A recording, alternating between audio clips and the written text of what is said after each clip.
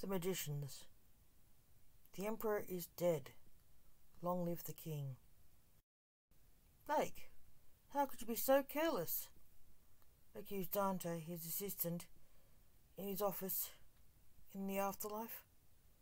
I didn't see him, said Blake, then a Grim Reaper. But he saw you. Not only did he see you dead and come back to life, he filmed you and put it on TV. Everyone knows you are one of the living dead now, said Dante. You think I don't know that? said Blake. I've been deposed as the Emperor of the Solar System. And they made the masked chicken, the Emperor, as the only living member of my family, and he's an idiot.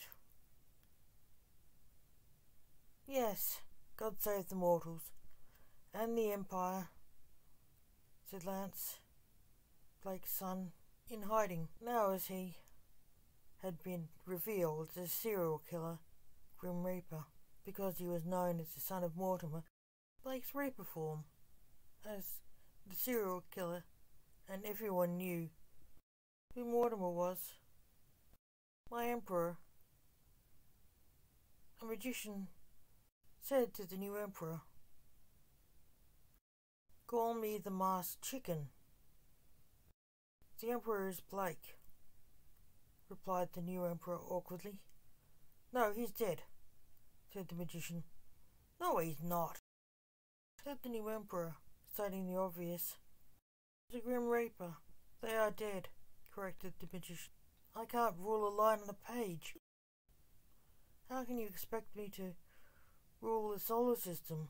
said the new emperor, citing the obvious again. The, the magician knew it was true. Don't be like that, you can rule the empire. We need you, said the magician. Later at the morgue of a hospital nearby. The Emperor was visiting the local coroner. Blake, I could not even cope without your help, said the chicken to the coroner like Alexander, the deposed emperor. I understand the job is a hard job to take, even for me, said Blake. I'm afraid the empire will fall under me, said the nervous chicken. There were always other empires who wanted to take over our empire of the Zodiac. I will have my reapers keep an eye out for rogue Exorasians. We had a pact of peace with them, but it is seen null and void by some, with me seen as a pretender to the Empire. Said Blake. I had an attempted assassination today. Junior saved me, and three earlier attempts this week. I'm living with Junior now. The attempts in my life are growing more serious, said the chicken. He's a good boy. He'll protect you. Or die trying, said Blake. Yes, he's a good friend, said the chicken. Well, Lance's son, Junior, I ask as Emperor now, is there any way of saving the Empire and me? Chicken added, knowing. Thanks. Yes, I dread to try it, though said Blake. Is it that bad?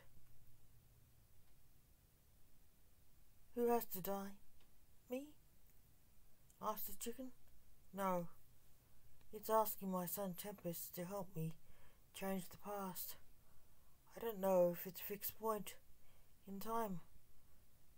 That's what scares me, said Blake. Please ask him. I don't know how much longer I can survive these attempts on my life, pleaded the chicken. I can tell you that you die tomorrow, said the judge of the dead, Blake.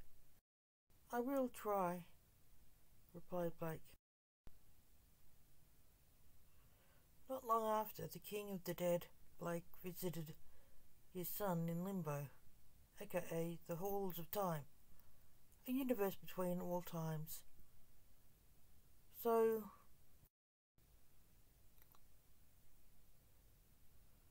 you see, if we don't undo the past, the chicken will die tomorrow, explained the father to the son. True. I saw it in the pool of time. The Tempest, who saw all of time in the pool of time. Is this a fixed point in time, Fend? asked Blake. Yes, but the fixed point is you going back and undoing this, said Tempest. What do I do?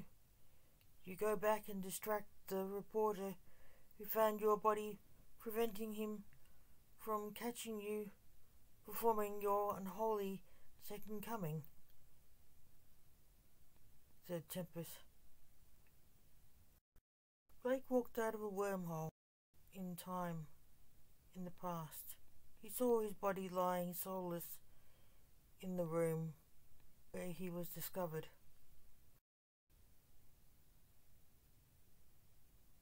Walked out of the room,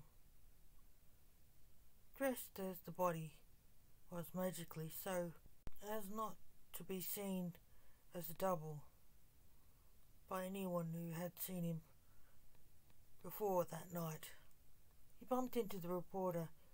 You clumsy! snapped the reporter. What are you doing back here?